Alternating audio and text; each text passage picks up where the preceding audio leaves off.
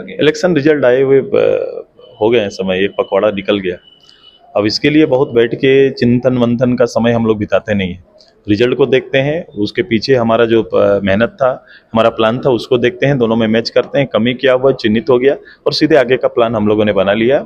हमने आने वाले दो अक्टूबर तक का जो करीबन सौ दिन का कह सकते हैं कि वो कार्यक्रम पार्टी का बन चुका है और पार्टी ने जहाँ जहाँ जो हम लोग ने पॉइंट आउट किया है, उसको कैसे बुस्टअप करें, उसको कैसे आगे करें, इन सभी को चिन्हित करते हुए इंटरनल पार्टी को मज़बूत करने से लेकर पूरे राज्यव्यापी पार्टी की सोच और आवाम की सोच को हम लोग एक साथ एक रिदम में तैयार करने की तैयारी हमारी चल रही है। कनेक्ट करेंगे विधानसभा वाइज विधानसभा वाइज हम लोग हमेशा चूँकि चुनाव है तो विधानसभा वाइज ही कनेक्ट करेंगे। इसको प्रखंड जिला अनुमंडल नहीं करके सीधे विधानसभा को केंद्रित करते हुए कार्यक्रम चलेगा।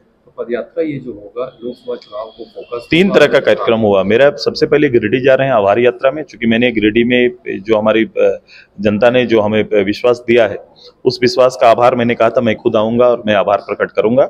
और आभार के साथ मेरा काम खत्म नहीं होता है बल्कि उस क्षेत्र के एक एक जनता का दायित्व भी निभाना एक एक जनता के प्रति जो मेरी क्षमता होगी उसको हम अपनी राजनीतिक क्षमता का लाभ उनको कैसे मिले, ये तैयारी हमारी रहती है। केवल वोट मांगना उद्देश्य नहीं है। और कभी भी भटकाव की राजनीति के हम पक्षधर रहे नहीं, न मैं उसका कभी नेतृत्व किया हूँ। मैं हमेशा सॉलिड और पॉजिटिव थिंकिंग मेरा रहता है। हमेशा उसी को सोचता हूँ और उसी को करता हूँ। मैं कभी भी नेगेटिविटी में मेरा मेरा मेरा सोर्स ऑफ़ पावर कभी कभी लोग नेगेटिविटी से अपने पावर अर्जित करते हैं, शक्ति लेते हैं और उस शक्ति से खुद को स्थापित करते हैं। मैंने कभी जीवन में ऐसा नहीं किया। और मैं इसको राजनीति के एक अच्छा आचरण भी नहीं मानता हूँ, इससे जीत हार हो सकता है। आप वोट कुछ देर के लिए लाभ ले सकते हैं, लेकिन अंततः आपके बारे में जब करेक्ट और रॉन्ग ये दोनों पर जब चर्चाएँ होंगी तो आप रॉन्ग ही पाए जाएँगे।